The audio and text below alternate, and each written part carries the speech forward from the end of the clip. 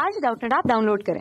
Doubtnut पर अपने सभी गणित, रसायन विज्ञान, भौतिक विज्ञान और जीव विज्ञान के डाउट्स का करो सफाया। बस प्रश्न की फ़ोटो खींचो, एक ही प्रश्न को क्रॉप करो और तुरंत वीडियो सोल्यूशन पाओ। अभी डाउनलोड करें। प्रश्न दिए है, दो कार, एक तथा वाई क्रमशः 36 किलोमीटर प्रति घंटा तथा बहत्तर किलोमीटर प्रति घंटा से एक दूसरे की ओर चलती है। कार एक्स के यात्री द्वारा उत्पन्न सीटी की जो आवृत्ति है, कार वाई के यात्री द्वारा 1320 हर्ट्ज प्रेक्षित होती है। यदि वायु में ध्वनि का जो वेग है, वह 340 मीटर प्रति सेकंड है। तो सीटी की जो आवाज़ है, वास्तविक उत्पन्न आवृत्ति जो होगी, हर्ट्ज में हमें बतानी है कितनी होगी।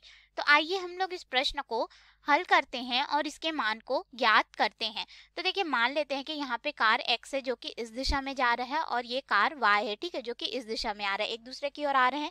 यहाँ पे ये हमारा क्या हो जाएगा? स्रोत हो जाएगा और जो वाय है, वह इस पे बैठे यात्री को सुनना है, यानी कि ये हमारा क्या हो जाएगा? ऑब्जर्वर ठीक है? ये स्रोत हो गया और ये हमारा श्रोता हो गया।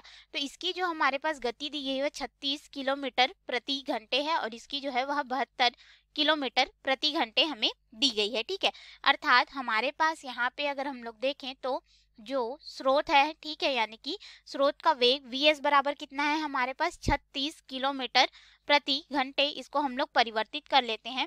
एसआई मात्रक में, यानी कि मीटर प्रति सेकंड में तो हो जाएगा 36 गुणित पाँच बटे अट्ठारह के रूप में। तो अट्ठारह से एक बार में अट्ठारह से दो बार में और दो का गुणा पाँच से होगा तो ये हो जाएगा दस मीटर प्रति सेकेंड।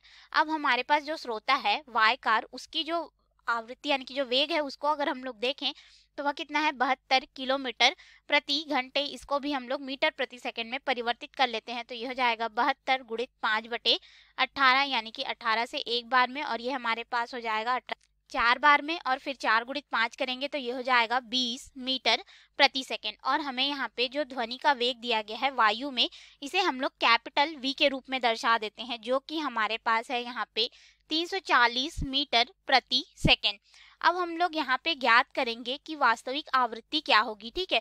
तो हमारे पास यहाँ पे आभासी आवृत्ति का जो मान है, उसे दिया गया है, जिसे हम लोग एफ़ ए के रूप में दर्शा देंगे। तो इसका समीकरण हो जाएगा, वायु में ध्वनि का वेग धन ऋण हमारे पास यहाँ पे हो जाएगा, जो श्रोता, यानी कि जो ऑब्जर्वर है हमारे पास, उसका वेग, ठीक है, श्रोता का, और फिर हमारे पास ध्वनि में वायु का वेग और धन ऋण हमारे पास हो जाएगा यहाँ पे स्रोत का।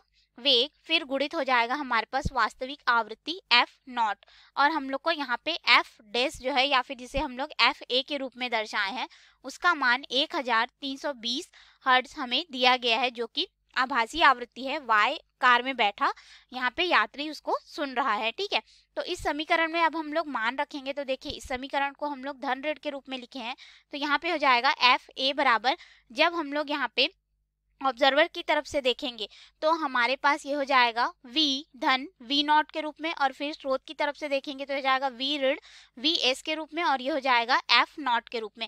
अब इस समीकरण में हम लोग मान रखेंगे और इस समीकरण में हम लोग मान रखेंगे तो f a बराबर हो जाएगा हमारे पास ध्वनि का जो वेग है वायु में 340 मीटर प्रति सेकेंड धन जो ऑब्जर्वर है, यानी कि जो श्रोता है, उसका वेग तो इसको हम लोग निकाले हैं 20 मीटर प्रति सेकेंड फिर बटे में हो जाएगा 340 मीटर प्रति सेकेंड ऋण जो स्रोत का वेग है 10 मीटर प्रति सेकेंड फिर गुणित हो जाएगा हमारे पास वास्तविक आवृत्ति एफ़ नॉट अब हम लोग इसको आगे हल करेंगे तो देखिए हमारे पास ये जो एफ़ ए है, इसका भी मान हमें पता है तो इसको भी हम लोग यहाँ पे रख लेंगे, ठीक है? ये हमारे पास है एक हज़ार तीन सौ बीस हर्ट्ज हमें प्राप्त है।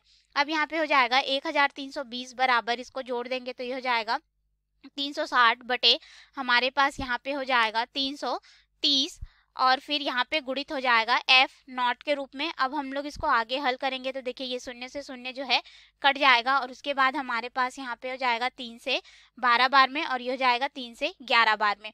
अब हमें एफ़ नॉट का मान चाहिए तो इसको इधर पक्षांतर कर देंगे तो ये हो जाएगा एक हज़ार तीन सौ बीस गुणित ग्यारह बटे हमारे पास हो जाएगा बारह। अब हम लोग इसको आगे हल करेंगे तो देखिए हमारे पास यहाँ पे इस पूरे मान को हल करने पे लगभग हमें प्राप्त, अर्थात एफ़ नॉट बराबर हमारे पास हो जाएगा एक हज़ार दो सौ दस हर्ट्ज हमें प्राप्त होगा। तो यही वास्तविक आवृत्ति है जो कि उस कार की ध्वनि से आ रही है, जो कि वाई कार में बैठा यात्री सुन रहा है। धन्यवाद।